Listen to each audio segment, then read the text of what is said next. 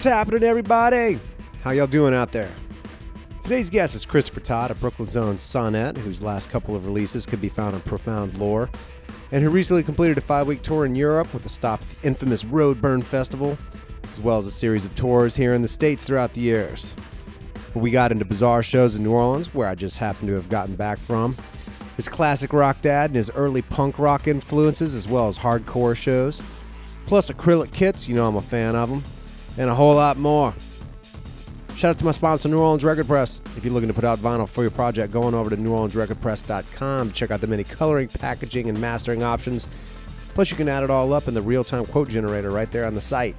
Need assistance with design or packaging? They can help you. And they print 12 and 7 inch records in both 150 and 180 gram variants. They also print small runs of 100 and larger runs up into the thousands. And that's the one and only NewOrleansRecordPress.com. Crash Bang Boom podcast can be found on iTunes Podcast, my SoundCloud and YouTube pages, Stitcher, Luminary, Google Play, Podbean, and more. If you like what you hear, feel free to check out any of the previous nearly 150 episodes and give me a like, a subscription, positive rating, a glowing review, and or all the above. I mean, fuck, go for it, right? The support is appreciated. So here we go. Christopher Todd, Sannhet. Check them out live if you haven't already. It's a wall of sound with some badass projections. Good times to be had. Crash bang boom. Crowds go mad with joy.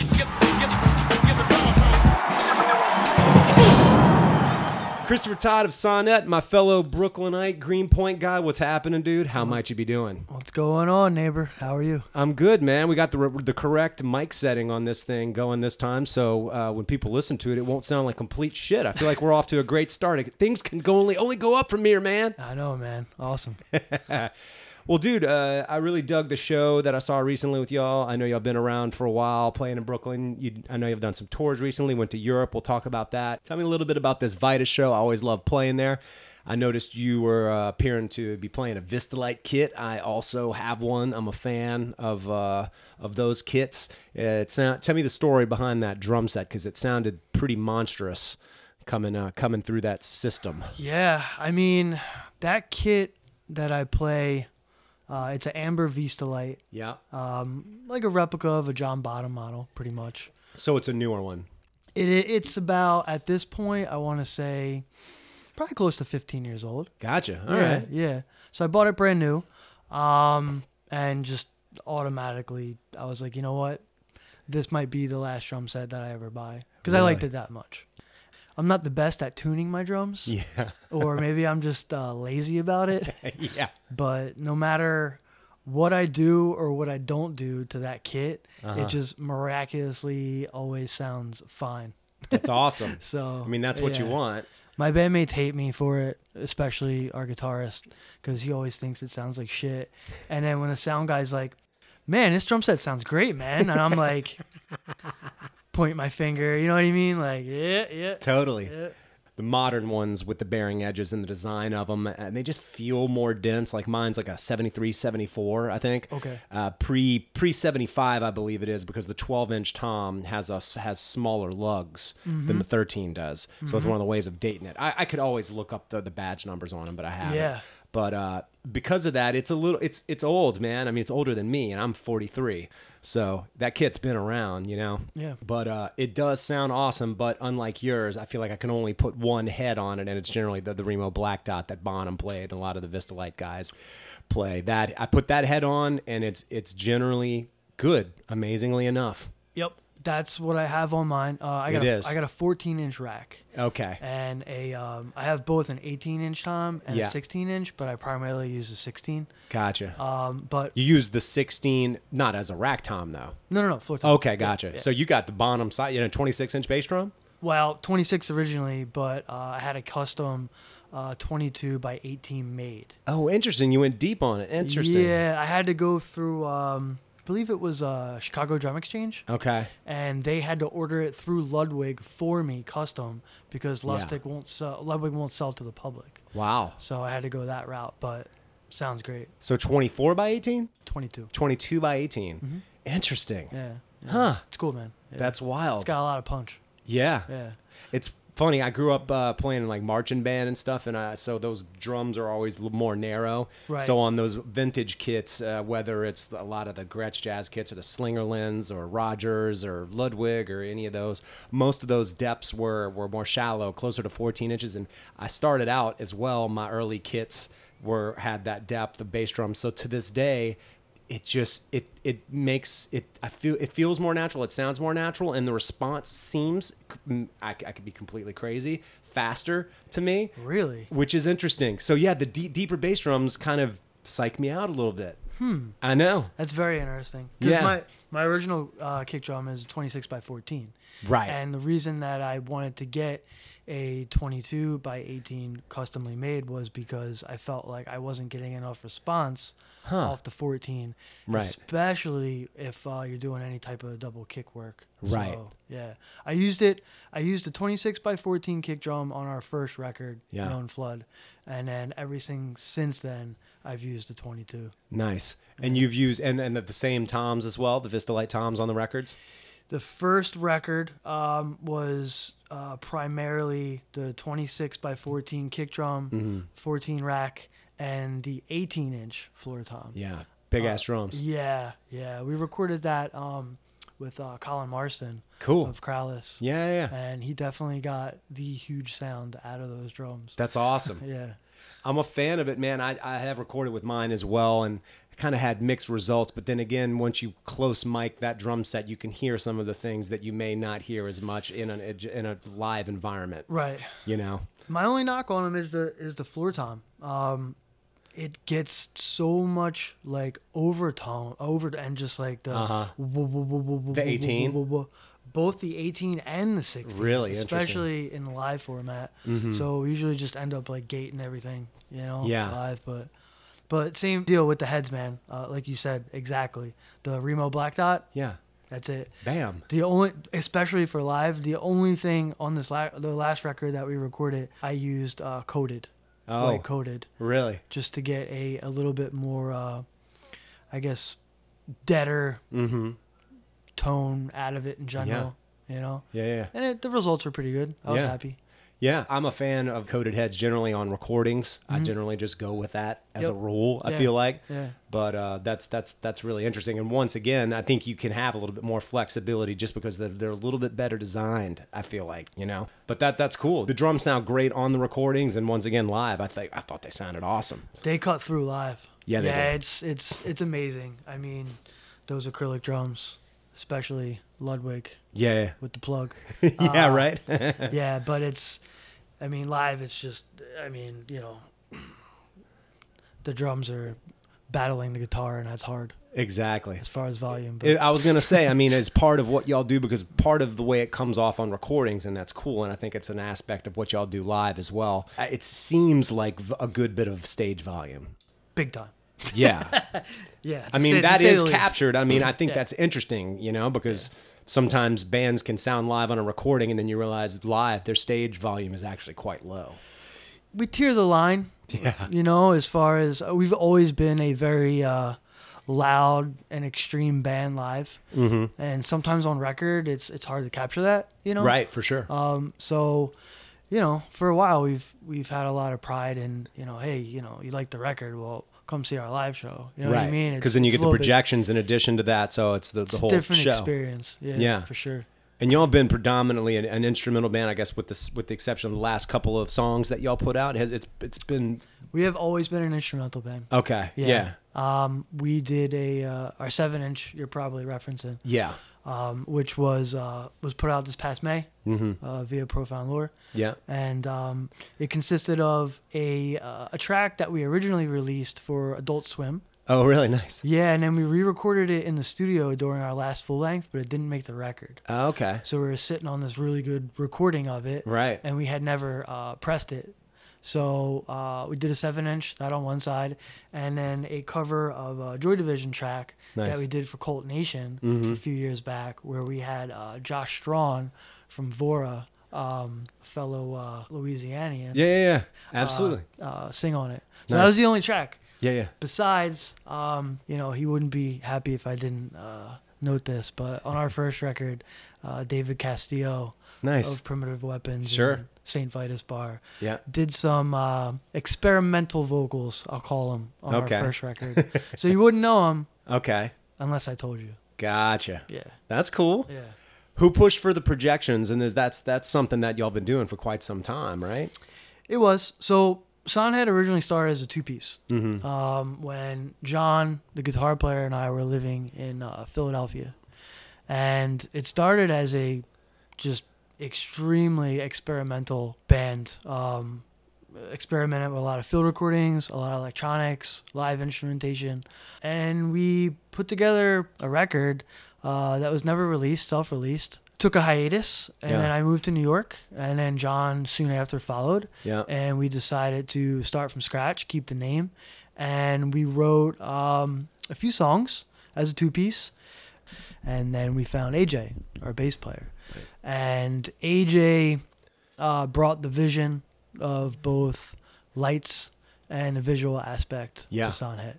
Nice. So that was he had to convince us a little bit. you know? Really? Yeah, because I mean, at first, like John and I, like, all right, all right, like we you know, Just like extra shit. I mean, yeah, Godspeed already did this. You know what I mean? Like, yeah.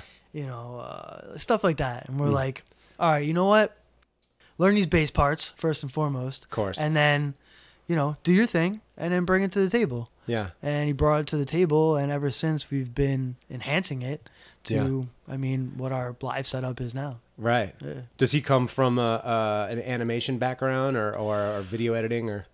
Yeah, a little bit of both. Both John and AJ are designers. Ah. Uh huh. Um, so they uh, are very, uh, you know, uh, entrenched in that world. Yeah. So where I'm like, that's not my forte, man. Like all, all I do is play drums, you know. So Yeah. yeah, Yeah, man. It definitely adds to it, and I, I, I certainly appreciate it when it happens, but especially with uh, with instrumental bands in particular, and then even that much more, I think, with a band such as yours that has such a a, a big sonic, almost soundtrack esque quality to it, having that visual component with it. It obviously adds to it, so I It adds- certainly appreciate it. yeah, man. It adds a lot. I mean, I'm sure like you can contest to this, like. You know, you, you've seen some instrumental bands that put on amazing shows, and then you've probably seen some instrumental bands where you're kind of like, the band's great technically, but Yeah, it's I'd rather listen tough. to this on record. right. You know what I mean? Mhm. And not having a singer to take most of the attention off the front of the stage, right. it's tough. So, I mean, I feel like we, it's a good balance with us, Mm-hmm. you know? Mm-hmm. So we'll, we'll play until we're ready to fall off the stage and die. And then you can watch something cool while, while we're playing, you know? Yeah, man. So, Speaking of, of, of good sounding uh, instrumental records, the the that new Russian Circles record, I, I don't know if you've checked it out. It sounds so good. I've heard good things. I haven't had a chance to check it out yet. It's killer. yeah. Do you get burnt out on instrumental music yourself, or do you still listen to it outside outside of your own endeavors? I do. Yeah. Um, as an instrumental band, I like to listen to a lot of. I mean, I'm pretty diverse, man. I'm all over the place. Yeah, From you know hardcore to metal to hip hop, you know, old and new, um, experimental, electronic, you name it. Like you know, Godspeed is a huge like Mhm. influence of mine. You Yeah. know, as far as the um, instrumental standpoint goes by Mhm. and then just bands that we've toured with too. Um, you know, uh, I, you know, this will destroy you is one. You know, like it, for me, like you can listen to a band on record, and then like if you actually have the experience of like playing and touring with these bands, Mhm. you have a new like profound respect for it. Sure. know?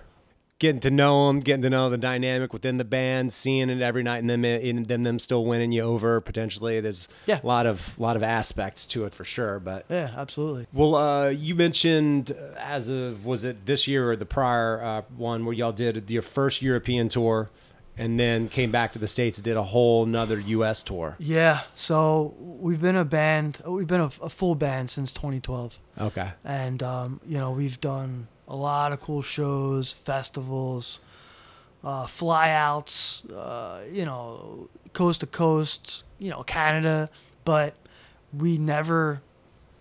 The, we never had the opportunity to, to go to Europe and like do it for real, Right. um, and the opportunity presented itself based around Roadburn. Oh, year. nice. Yeah, so um, we went to Europe for about four to five weeks. Wow. and did the whole thing.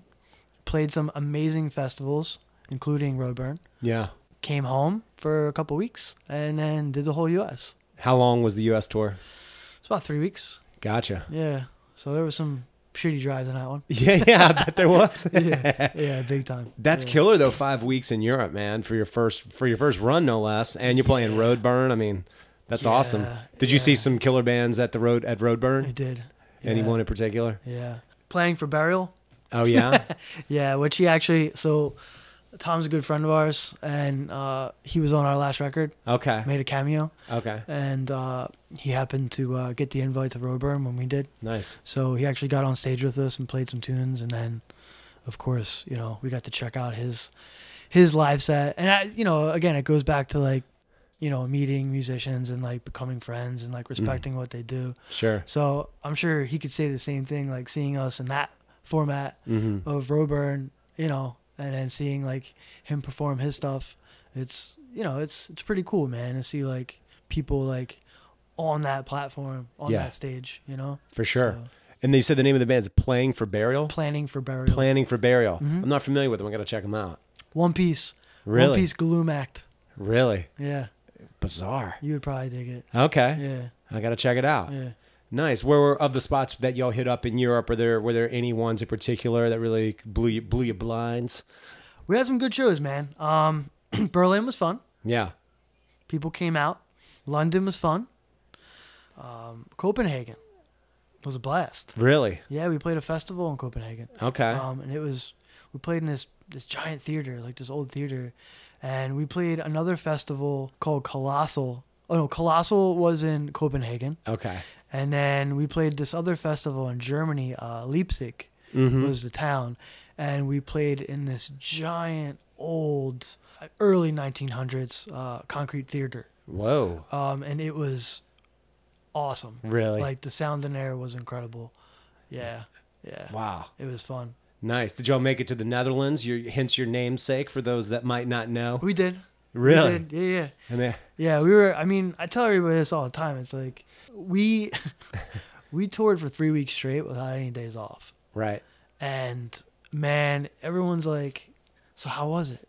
You know, how how how was that lifestyle?" And I'm Mhm. like, I was like, I can tell you everything you want to know or don't want to know about every single rest stop bathroom That's and what rest stop in general. Yeah, yeah. Like throughout all of Europe. That's what it is. I said because that's pretty much all I saw. like, you know what I mean? Like, Yeah. yeah. I mean, it's like you play a show, and then you don't get out of there till late, and then you, you know, go to where you're sleeping. You crash out. You get up early, and then you gotta drive all day to get to where you're going. right. You might see like a little bit of the town if you have a day off in it, or a couple hours before you're set. Yeah, but you it know, but that's it. Yeah. yeah, yeah. yeah. It's a lot of hurrying up and waiting, a lot and a lot of public bathrooms. Yes. I can tell you what bathrooms you need to pay for throughout every country and which ones you don't. Or which ones you choose not to pay for. Just yeah, yeah. Rather than your standard tourist book of tourist sites, you need to hit up bathrooms that you should pay for. Yeah. Yeah, man. Nice. Yep. But uh, you know, the experience was great. And we were, you know, well it was well received over there. Great. So it was cool. Any plans of going back? Um, yeah, yeah. I think right now we're, you know, right now we're, we're working on some new stuff slowly. Yeah. But um, you know, uh, in lieu of that, if something comes up, we'll certainly entertain it. Sure. And then for sure after, when it's all said and done with this next record that we might try to birth here. Mm-hmm. So yeah, whenever that might be. Nice. And everyone's uh, been able to keep themselves flexible in their lives enough to entertain these ideas and be able to go out for that long. That's always the, the balance and act that becomes a slippery slope as we age, especially. Tell You me know. about it. It's tough. I actually had to. So when we went to Europe, so when we did the Europe tour in the states, Uh. I had to leave my job of 11 years. No way. Yeah, Dude, what a Yeah. fucking commitment. yeah. I left my job of 11 years. Just do it, man. You know, because of every band that I've ever played in, like this band is kind of like my my child. You Uh-huh. know, and I was like, well, you know, we got all these cool offers. Like, you know, I didn't. I wanted to do it. and I didn't want to let anyone else down. You know, Right. So, yeah, we did it, and um, actually, lo and behold, like I'm at, I'm back at the job that I left because Yeah, and you know he was like, take as much time off as you need, and then just come back. Wow. And then it just it kind of all worked out after the fact. You Know what I mean? But um, uh, yeah, I mean it's tough. It's a balancing act, Big depending time. on where you're at in life as an individual. Fuck yeah, dude. You know, and especially in this city, man. I mean, you can't, ridiculous. you can't, uh, you know, it's not cheap. No. You know, so Don't have kids. You wouldn't believe the expenses that comes with that. uh, I'll tell you afterwards what we pay for daycare here in Greenpoint. I can imagine. Yeah, Oh. I can imagine. Ooh. Yeah, Wow. That's why I drink so much. At least that's what I blame it on. yeah. Oh my God! Well, when y'all came back to the United States, uh, where if y'all when y'all went out for those three weeks, what uh what were some of the places that y'all ended up uh, and and enjoyed into you know hitting up or maybe spots that you've gone back to, etc. Yeah. Philly's obviously fun, Yeah, just because like we have roots there, yeah, yeah, yeah. um, and friends there. Austin is always a good time. Always. We always have a good time in Austin. Yeah. Um, L.A. Really. Always, Really. man. Let me tell you, it's New York and L.A. for us Really. in the states. Wow. Yeah, yeah. New York, L.A., um, San Fran, cool. Chicago. Yeah. People come out in Chicago. City that I to this day have still not been to. I've been to most of the United States throughout most of it, and somehow still Detroit and Chicago I have yet to happen. Yeah, Chica- Chicago. I put on a respect level like New York. As far Really? as, as far as shows. and Wow. people's commitment to going out. Yeah, it's cool. Yep. Fucking a man. Yeah. so you do that you did the five weeks you said you had a couple weeks off then you went out for the three weeks so it was that was a that was a stretch It was a stretch. were y'all not ready to kill each other after that shit I guess that's one of the. Well, you know, you got kids. I guess that's why I drink. your bandmates yeah. Yeah. i hear you yeah. do y'all practice here in, in brooklyn or in greenpoint even We do. We practice over in Bushwick. okay Yeah, we've had a few spaces, um, primarily all in Bushwick. yeah yeah Yeah. yeah i'm on my fifth space and i think i've lost all of them at one point or another because they were going to either build construction or something like that Yeah. You know, clubs get shut down, practice spaces get shut down. It becomes that's a whole nother aspect of living in New York, Yeah, and which sucks. you know, like we were just saying about uh, you know living in general. I mean, practice space rent is almost like an apartment rent. Yeah, it's It's crazy. like- it's insane. you end up having to, or you have to get so many people to share it to make it affordable that then it becomes a, its own pain in the ass. Yeah. and managing a bunch of dummies. Bunch of guy, a bunch of people in bands. Yep. You got Yep. it. Yep. Oh my God, man. So here we are ta talking obviously about drumming and whatnot. You loving this uh, acrylic kit that you have. When uh, when did you first start playing the drums? Third grade. Third grade. Damn, that's pretty early, man. I can't remember what age I was in third grade, but that's Yeah. what sticks in my head. Third grade. Yep. Gotcha. Yeah. What about what, what was your first kit? And your, did your parents reluctantly get it for you? Well, uh, funny story is, um, the year before I got a drum kit, I got a guitar. Oh yeah. Yeah, because my dad's a guitarist, Oh okay. and um, Did he play in bands when you were growing up? Or just kind of around the house? That's what you want to call cover bands. you know what I mean? So he did his thing on weekends. You know, probably Mm-hmm. made a couple bucks. He probably paid, made more in cover bands than I made in original. I, would be willing to bet you that that's the case. Yeah, yeah, yeah. That is one of the benefits of doing it. It gets you a yard pass on the weekends, and then that they at least know that you're not completely fucking off, and at least you're bringing back some money that you can throw at God only knows Yeah, what. exactly. Yeah, he had this piece of shit van that he only used just to like move his gear. Nice. Yeah, but um, he got me a guitar Uh huh. And Just didn't- didn't take stick. to it, man. At Yeah. all, at all. Yeah. And then I think the following year, uh, either for Christmas or my birthday, I got my first drum set, um, which was a uh, Yamaha Stage Custom. Oh, nice. All right. Yep, and that was it. Yeah. It was just permanently set up in my parents' garage, Mm-hmm. and I just took to it. Really? Didn't Yeah. drive the neighbors crazy? You were able to get away with it? I'm sure I did. Yeah. Yeah, depending on the time of day. And your parents were they were they rethinking the whole thing? I always wonder about that, but at least they know where you are, and I don't know. They, my parents dealt with it. I mean, drummers' parents. That's what they deal with. Hey, they bought it for me. Right. They knew what they were getting themselves into. Come on, you know? Kids smashing some drums, making a shit ton of noise in the garage. Yeah, yeah. What uh, kind of music was being played in the house? My dad was always a classic rock guy. Yeah, yeah. Deep Purple, Led Zeppelin, he had a vinyl collection too. I mean, ZZ Top, Jethro Tull. Mm-hmm. Yeah, yeah. Uh, All the classic Skynyrd, rock stuff, sure. You know, uh, Allman Brothers. I mean, you, Yeah, you know, yeah. just down that Classic whole rock, rabbit seventies hole. classic rock. Yeah, Yeah, I love yeah. that shit. So I kind of grew up, you know, basically listening to a lot of that until I got of a certain age, you know, to make my own decisions. What corrupted you? What what music corrupted you and put you down the Dark Lord's path? Man, well, like I said, I was always diverse, so Yeah. you know, '90s hip hop definitely corrupted me. but, Yeah, um, still my favorite. It is known as the golden years of hip hop. I mean, I, I With listen- reason. daily. I listen to a lot, you know. I rock it too. Yeah, but um, as far as like drumming, uh, you know, influences, um, I pretty much taught myself how to play the kit, and I used to literally just set up with headphones and a Discman, Yeah, and um, uh, an early one that I used to just try and play along to was Helmet. right on. You know, Helmet Oh, yeah. was a giant influence for me. Oh, for everybody that was alive in the '90s. Yeah. I talk about it all the time. John Stanier is about as influential as you get. I mean, and I from jock bands, I would go see them, and I'd be like, "This guy's quoting John Stanier or trying to." Yeah. You know, I, I certainly to this day, I'm like, "Yeah, that's I'm doing some John Stanier shit there, Dude. It still lasts to this day. That influence. So Helmet, uh, Quicksand was another Fuck one. yeah, Alan Cage. Yeah. And um, I mean, it's so funny, just like how like worlds collide. Uh, like, you know, it's like I, I I literally recall like practicing, like trying to practice like those drum parts Yeah. to a Discman by myself in my parents' garage, and then you fast forward like years later, and I get to meet some of these guys, Yeah. and play shows with them, Right. and like, you know, have a shot of whiskey with them. It's Yeah. like it, it's mind blowing actually. You know, like two, helmet and quicksand. Like I've met like Yeah. you know, John and Alan. It's crazy. Did Yeah, you meet John when he was playing at Battles?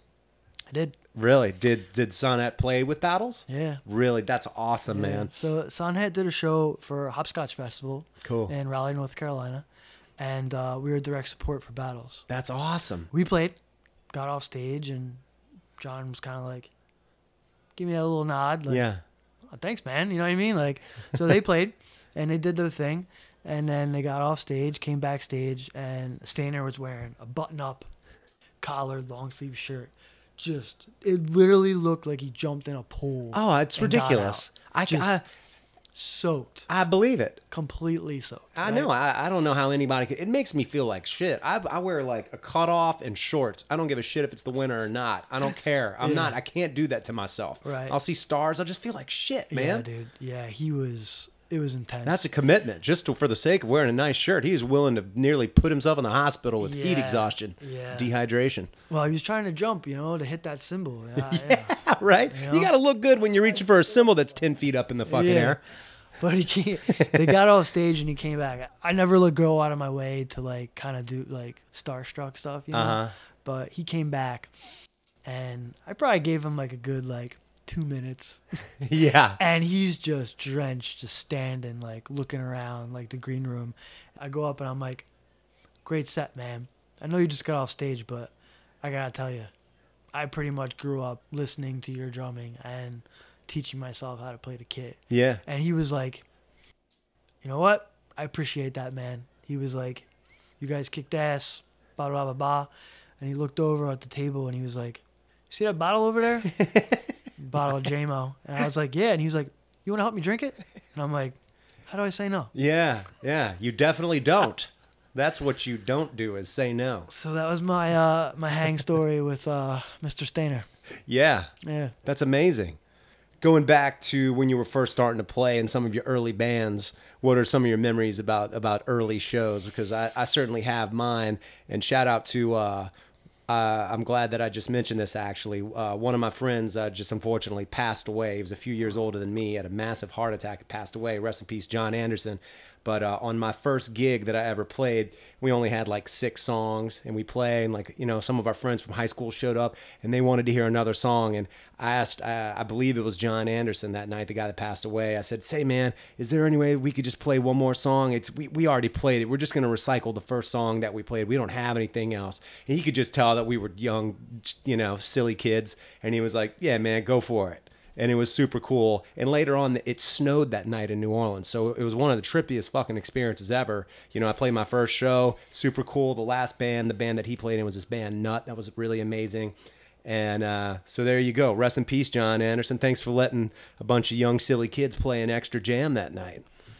Yeah, I mean, firstly, my condolences. Yeah, of course, it's crazy, you know. man. Life is crazy. It is. It really is.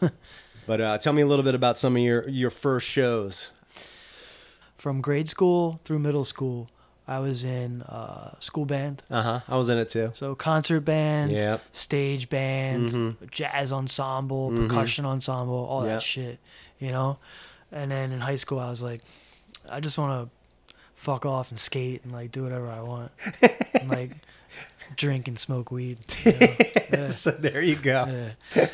and, and hate on everything. But, right. Uh, um, but yeah, um, early on, I don't know. I don't know if I remember my first show, man. Is that Really? bad? Yeah, That's wild. yeah.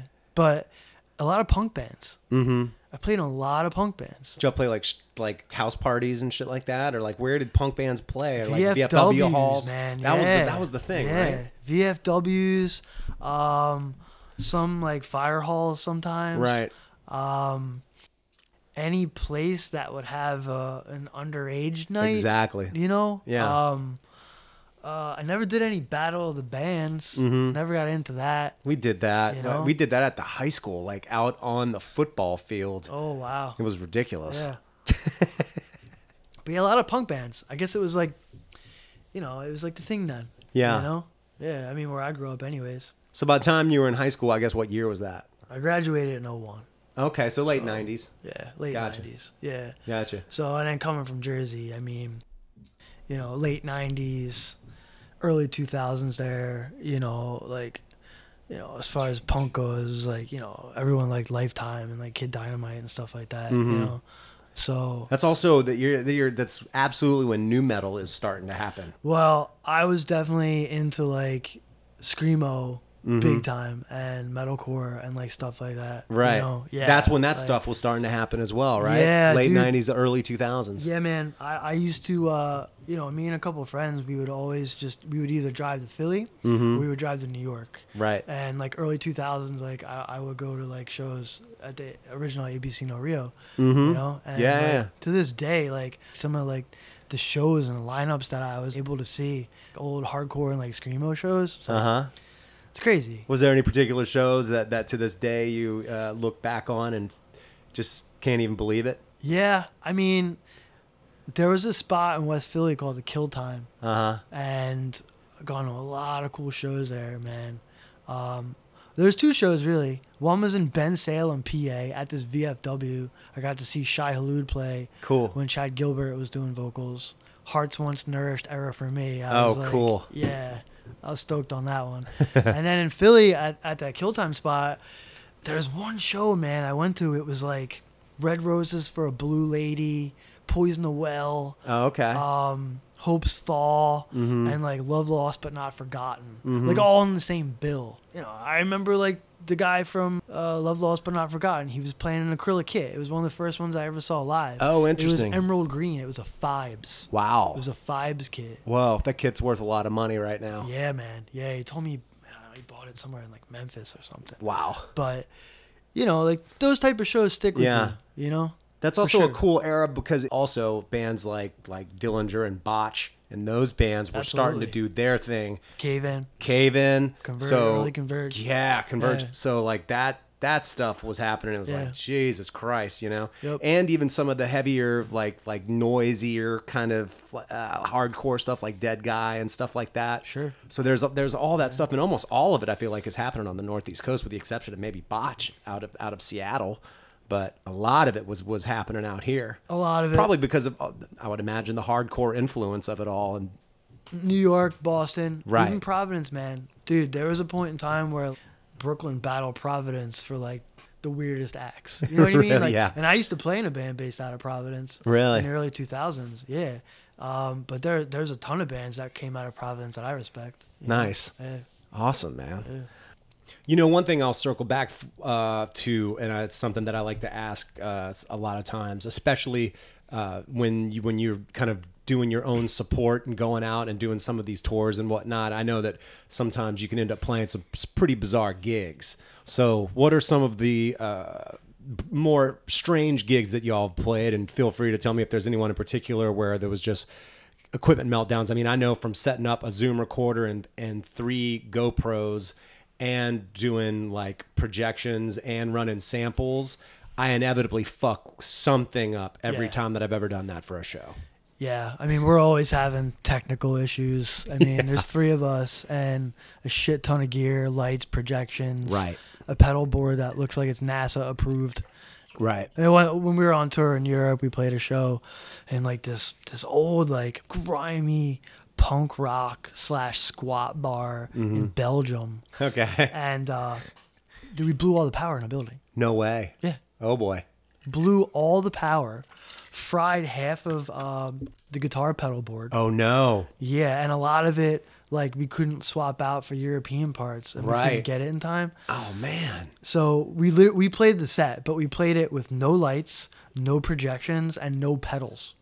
Just Wow. just played old stuff really loud and ripped it in a pitch black room. Holy shit. yeah, I mean, I mean we weren't not gonna play. You know what I mean? Yeah, you went all the way there. You're gonna play, but come fuck, on, that yeah. also sucks because I would imagine pedals are a pretty crucial component of what y'all do. From the guitar sound perspective, that wall and all the delay and all that Yeah. stuff, that's Yeah. pedals. Yeah, we were pretty much piecemealing it for Wow. at least a week trying to get it figured out. What about weir- a weird show in particular? Your hometown. Oh, in New Orleans? Oh boy, what happened? We've always had a, a weird a weird time in New Orleans. Yeah, it's a weird town. Always. Yeah, totally. So we were on a tour with Liturgy. It was the first time we ever played New Orleans. It was an off day, Uh-huh. so we scheduled a show for it. Yeah. to on it. Uh huh. We scheduled a show, and we show up, and this place looks like. First of all, I I forget what ward it's in, Uh huh. but it was in a pretty like desolate uh, part of town. I know that there was a prison down the street Okay. I mean, if it was close to and a NOPD. brand new Whole Foods. Okay. Huh. I don't know exactly. Fifth ward, maybe. I don't. I I don't, don't know. know, man. I don't know of. I mean, I don't. I don't know of one that's really close to the prison necessarily. It was in a uh, very industrial commercial area. Okay. Yeah, big time. Like there's nothing around, dude. Huh. Um, and we roll up to this place, and it looks like this gi- like a giant old airplane hangar. And we walk in, and it was the most bizarre thing, man. There's a 80 year old man in his underwear painting on an easel. Okay. yeah. There's someone making chili in the kitchen. Right.